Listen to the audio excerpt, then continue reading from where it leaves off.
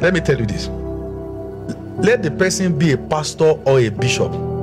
Anybody you honor above your husband is not wisdom. Thank you, Papa. The moment your pastor comes to visit, you serve the pastor in the way you have never served your husband that paid your bride price. Rubbish. Where was this pastor in the days you were single? He said, God bless you, I married his own wife. Yes. The best plates and cutleries in your house, who are they for? For your The day pastor. pastors come to greet. Yes. I have my own wife, and she honors me the way no one else can. Honor your own husband. The Bible said, Women, honor your own husband. Not another person's, honor your own. Honor your own. Honor your own. Your own. honor your own husbands. Most women don't honor their husband, they honor their pastor more than their husband.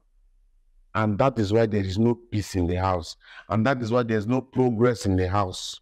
You prefer your pastor to your husband who you are in the house. How can you honor God that you have not seen? And you don't honor the God in your own house. As a woman, always learn how to honor your husband because your children are watching you.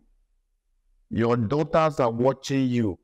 If you do not honor your own husband, that is how they will not honor their own husband. And that is how it will start going.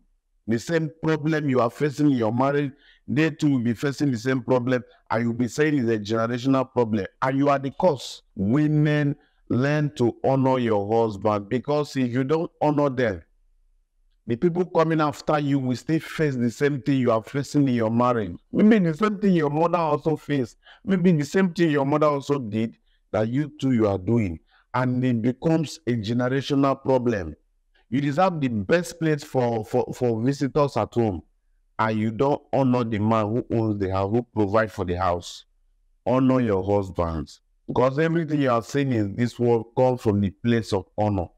If you don't honor people, you don't receive honor. So what whatever you want people to do for you, also do the same for people. Please share this video. Click on that follow button for more video like this.